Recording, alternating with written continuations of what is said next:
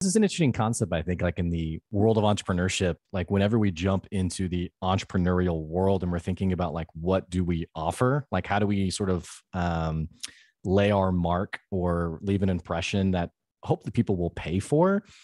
And it seems like the people who are doing really well, like yourself, not that it's been easy, but it's it seems like it's been natural to you like you're you're sharing concepts you're sharing things that make sense to you. And not that it isn't insightful but it's it's it's natural to you then other people are being like oh my gosh like that that you know like you said they're quoting it back to you like it's really making an impression on them. Do you ever think about like that i don't know if it's called a if we'd call it like a disconnect but like that weird world of this is so normal but for other people it's it's impactful it's extraordinary it's something that i maybe i would be willing to pay for Yeah, it's um I forget the saying, and if I do remember it, I'm I'm sure to butcher it.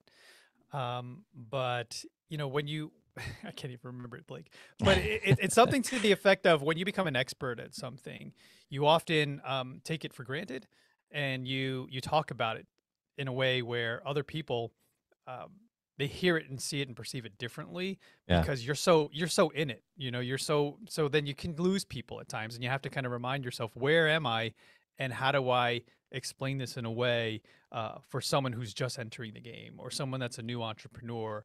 You know especially when you talk to marketers and they start jumping into like algorithms and hmm facebook and click seo and and all all that that yeah stuff. Yeah. and they're speaking this language and they often forget that um hey you're you're you're 10 years ahead you're light years ahead of somebody that's just starting so slow it down a little bit. Um you know in in and you mentioned before the mic turned on my other show capital hacking with my business partner uh josh mccallan. We um we often have to say like stop he stops me or i stop him and say hey no listener left behind. Let's explain that concept that you were yeah. you know just 100 miles an hour let's go back and sort of like you know leave some breadcrumbs so people can follow along yeah and josh josh has been on the show a couple of times and has always been a terrific guest yeah um going back to something lightning yeah and he has so many children by the way yeah I feel like every 10 time I talk to him, it's gone up like an additional number. I'm when like, you met him i think months. nine How? Yeah. yeah I'm like, what is going he's on here? he's figured it out he's, he's hacked uh you know creating Yeah. children And, and here I am, I'm drowning with one kid. I'm like, how do I, how do I do, you know, please help me. But, so um, you know, something you mentioned earlier, it's just, it's such a great concept, no like and trust. It, it feels like when I'm talking to business owners who like, they get the concept or, or they, they understand the opportunity there is with podcasting and with social media and digital content. But then when it comes to like the actual, oh, I have to, you know, I have to actually do that. Like I have to actually record for an hour. Like I have to, uh, you know, I don't want to get my face on a camera. Um, it it almost feels like there's this like, um, man, I'm trying to think of how to articulate it. Like intellectually, it's like, okay, yes, I get the value of it, but then business owners, it's like, I just don't know if I want to invest the time for that. Or or many of us know like launching a podcast, like you don't you don't launch your first episode and now Spotify's calling you for like an endorsement.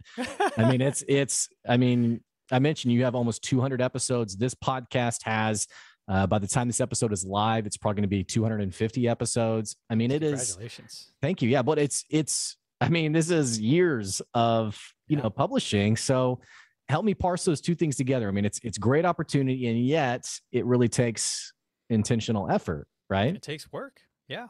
Yeah. The first thing we do when talking to somebody who's a potential client or someone that's trying to find answers and if it's the right vehicle for them is time.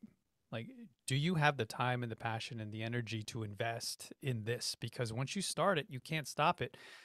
If you stop it, then it it clearly won't work for you, right? Um, you have to commit to it. You have to commit. I always say at minimum six months to twelve months to see what it can do. And the thing is, you don't know unless you do it. You don't know unless you try. Uh, as as in with anything in life, right? Um, you have to at least sort of go through the motions and the activity, and then start to understand. Oh, this is what everyone's talking about. So yes, understand and know that there's a commitment uh, for you if you start a podcast. Uh, that isn't going to happen overnight. It's the long tail. You have to know that um, it's going to do a lot of wonderful things and it is something that uh, is is tried and true for me anyway. Uh, there are people where it's just not for them. Like you said, they they're not comfortable they're not comfortable in front of the camera mm. uh, they they're very self-conscious whether it's their their their visual or their, their mm. audio or something um, they have a raspy voice yeah, or seinfeld they're a, they're a low talker you know, I don't know. a low talker yeah yeah a bit of advice for those who do want to get into it and uh, they feel like they could have the confidence or use this as a tool a lot of people do uh, to build their confidence and and to get on the stage the virtual stage because you know isn't that the second most feared thing uh, to humans yeah. is like death and then yeah i think public paying taxes is up there somewhere i don't taxes, know yeah yeah but yeah. yeah so i would recommend that you you practice right you you practice maybe you turn the camera on you record it the challenge is becoming overly critical of yourself. Mm-hmm. You have to understand that your first episode is going to be light years uh, away and different from your 200th episode. Right. Because you're going to, in real time, witness your development your evolution uh, as a speaker as a as a as a thought leader as a as as somebody that can you know bring their thoughts to the mic and the camera much quicker and you'll notice that it's helping you in conversations in having business com- uh, meetings mm. in, in, in negotiating with a potential customer or client your skill sets played out in a podcast is a tool for you to improve mm-hmm. right and whether they go live or not I, I, think going live is definitely an aspect that um, has power uh, that that you can you can feed off of but definitely that's just one aspect, Blake, uh, that I don't think I've ever spoken about. Mm.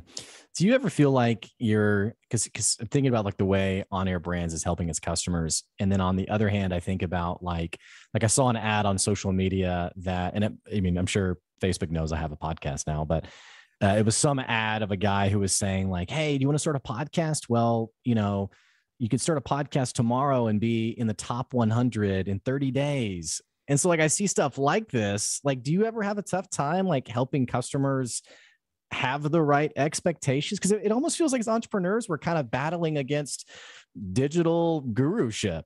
You know, where yeah. like everyone's putting out these timelines and they're saying, oh, I mean, you can do one episode and that's going to, you know, generate six figures for you. And it's like, you're just like listening, like, where does this? But then I think I've met entrepreneurs who have, you know, they've bought those programs, they've paid for those programs, and then they're like, what the heck? Why didn't this work? So there's two types of people, right? There's there's the person that wants to hack through life, right? They they want to do something in 30 days or less, or 90 days or less. You know, I want to write a book in 90 days, uh, or I want to lose weight in 90 days. You know, lose 100 pounds, right? That's a hack, right? That's a short term gain. Yeah. So you may get to that goal, you may lose that weight, uh, or you may write a book in 90 days. You will kill yourself to get there to accomplish that goal. But the big problem is when you when you create a goal for yourself you're not inventing the person that you need to become in order for it to have longevity. So for me, a podcast always is an opportunity for someone to commit to something and then experience the journey and understand and know and manage their expectations that it is not a short-term hack to get to sales, to, to build a community.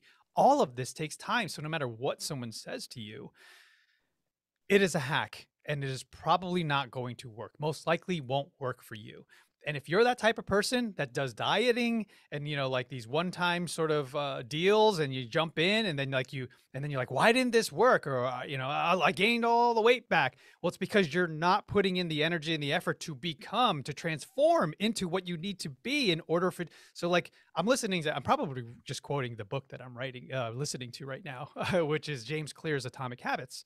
Oh, yeah. and he talks about two types of people where they're both smokers that are quitting smoking. And a person comes up and says, Hey, Blake, uh, you want a cigarette? And you say, uh, You know what? I'm trying to quit. And then it goes to the other person and says, Hey, you want a cigarette? Both trying to quit. He goes, mm-hmm. No, I'm not a smoker. So the thing is, you have to become and you have to embody and understand and trust that you are that person. Like if you're going to say, I'm going to run a marathon. And the thing is, I'm going to, you don't, people don't often say, I'm going to be a marathon runner. I am a marathon runner right? And then that is the hack, but not a short term hack. It's the long term.